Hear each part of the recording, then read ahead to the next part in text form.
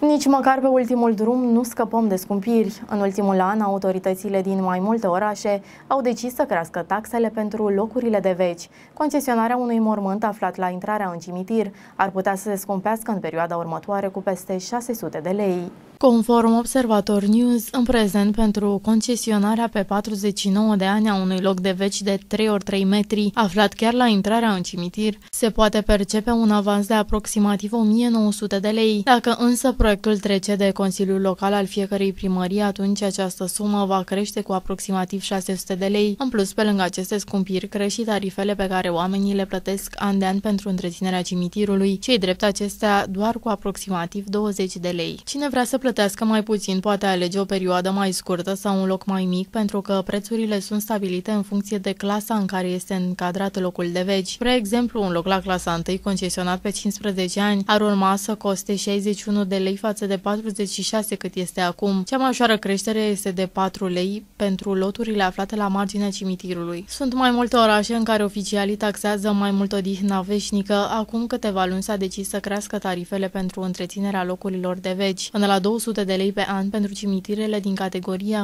1, relatează observatornews.ro.